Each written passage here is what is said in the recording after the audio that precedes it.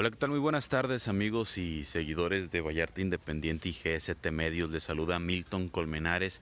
en este lunes 20 de septiembre. Estamos transmitiendo completamente en vivo desde la colonia Palmar de Aramara, aquí sobre la calle Océano Índico, una zona en la que ya mi compañero Romualdo Camacho estuvo más temprano debido a una serie de reportes por parte de los vecinos de este lugar.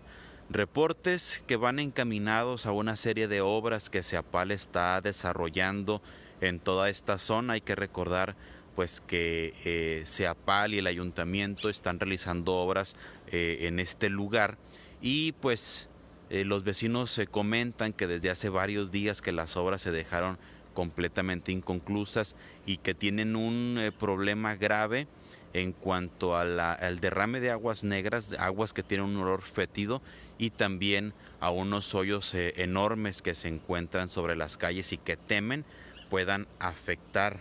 eh, sus viviendas, hoyos que pues parecen socavones. Para ponerle en contexto, mi compañero Romualdo Camacho estuvo hoy por la mañana por acá platicando con algunos vecinos y pues eh, en esa transmisión los vecinos aseguraron que estaban en contacto con Ciapal o que se pusieron en contacto con Ciapal, pero eh, Ciapal les respondió que ya tenían gente trabajando,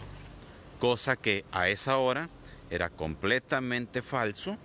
y pues nos pusimos en contacto con los mismos vecinos para acudir un poco más tarde y ver si ya Seapal estaba por acá presente, si ya estaban trabajando y nos encontramos con que a las 12.50 aproximadamente que iniciamos esta transmisión, sí vino gente de Seapal, pero eh, ahí está un trabajador, está solo, no está laborando porque eh, comenta que se les olvidaron algunas cosas. No sé si se les olvidaron algunas cosas para poder trabajar o si eh, pues pretenden darle más largas a este tema. Lo que sí vemos es, por ejemplo, esa bomba, eh, una manguera y algunos, eh, algunas otras mangueras que están ahí sobre la banqueta. Otra cosa importante, los vecinos están esperando a que venga personal de Seapal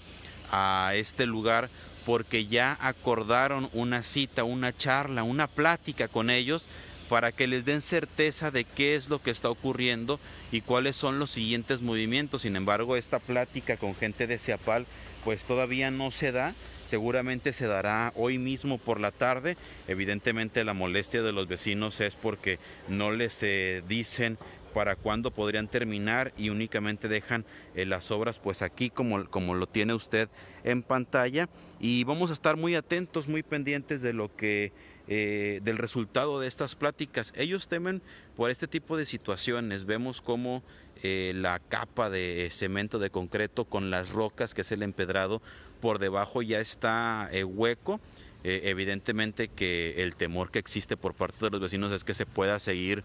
erosionando por la parte baja y esto afecte las viviendas o que afecte en el buen estado